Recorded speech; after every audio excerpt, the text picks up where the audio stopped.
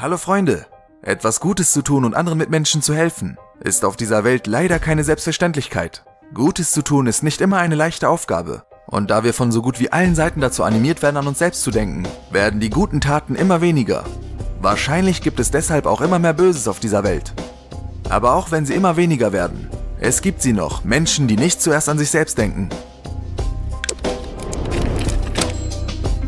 Eine der vertrautesten Situationen ist, wenn eine Person jemandes Brieftasche oder Dokumente findet und eine gute Tat vollbringt, indem er sie dem Besitzer bringt. Aber wir sollten uns von solchen Taten nicht beirren lassen, denn auch wenn es Menschen gibt, die so etwas ohne Hintergedanken tun, würden die meisten Menschen den Fund entweder behalten oder nach einer Belohnung fragen.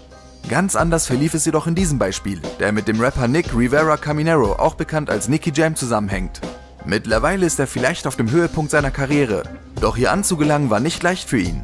Geboren wurde er in den Vereinigten Staaten, doch als er sechs Jahre alt wurde, zog seine Familie nach Puerto Rico.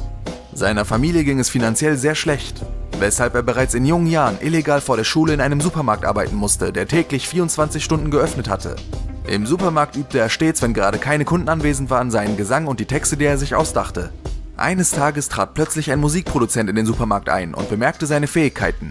Kurze Zeit später unterschrieb Nicky Jam seinen ersten Vertrag. Heute hat der Sänger sogar einen eigenen Stern auf dem Walk of Fame von Hollywood. Vor nicht allzu langer Zeit erfüllte er sich einen lang ersehnten Traum. Er kaufte sich einen Lamborghini Huracan und prahlte mit der Maschine in den sozialen Netzwerken. Zudem bedankte er sich bei allen Menschen, die ihn unterstützten. Aber den Geschmack der Freude konnte er nicht lange genießen, denn noch am gleichen Tag verlor er wie durch Zauberei den Schlüssel zu seinem Luxusauto. Und sein Ersatzschlüssel befand sich, wie das Schicksal so wollte, in einer anderen Stadt. Also bat er seine Fans um Hilfe er fragte in den sozialen Netzwerken, ob sie ihm bei der Suche nach seinem Schlüssel helfen könnten. Das Gute für ihn war, dass er überall verteilt eine große Anzahl von echten Fans hatte. So auch in der Stadt, in der er sich gerade befand und seinen Schlüssel verloren hatte.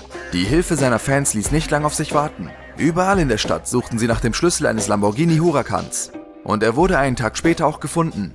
Ein Fan, der in der Nähe von Nicky James zu Hause zur Schule ging, brachte ihm den Schlüssel. Es war ein kleiner Junge, der aus einer bescheidenen, ärmeren Familie kommt. Seine Eltern haben ihn wahrscheinlich sehr gut erzogen. Denn nachdem er den Schlüssel des teuren Autos gefunden hatte, brachte er ihn ohne Umwege zum Besitzer zurück. Nicky Jam war überaus glücklich darüber, dass er seinen Schlüssel wieder hatte. Aber es machte ihn auch glücklich zu sehen, wie einige Menschen handeln können. Er betonte mehr als einmal, dass alle Aktionen früher oder später wie ein Boomerang zurückkommen. Und für den kleinen Jungen sollte dieser Tag schon bald kommen. Denn der Rapper wollte nicht in seiner Schuld stehen. Er schenkte dem Jungen und seiner Familie einen nagelneuen SUV Jeep Grand Cherokee. Was sie damit anfangen wollten, überließ er ihnen ob sie ihn nun behalten oder verkaufen, um ihre finanzielle Situation zu verbessern. Es tut immer wieder gut mitzubekommen, dass auch noch Gutes in unserer Gesellschaft passiert. Für den Sänger wäre ein verlorener Schlüssel letztendlich nicht so tragisch gewesen. Doch für den Jungen, der geholfen hat, wird ein ca. 50.000 Euro Auto eine große Hilfe sein. Was hältst du von diesem Thema? Was war das Wertvollste, was du jemals gefunden hast? Und was hast du damit angestellt? Teile es uns doch in den Kommentaren mit.